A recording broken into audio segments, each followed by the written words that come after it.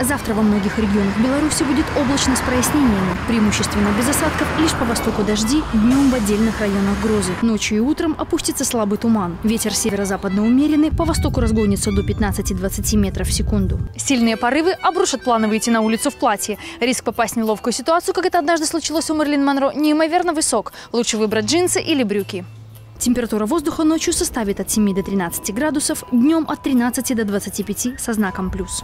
На северо-востоке Турции погибли по меньшей мере 4 человека. Виной всему наводнения, вызванные проливными дождями. Пострадала провинция Артвин, разрушены шоссе и строительная площадка. Рабочие эвакуированы, под обломками все еще находятся десятки транспортных средств. С начала прошлого месяца в Китае от паводков пострадали почти 38 миллионов человек. Вода унесла 140 жизней, для спасения и переселения людей мобилизовали армию. По прогнозам специалистов, для ликвидации нанесенного ущерба могут потребоваться сотни миллионов долларов.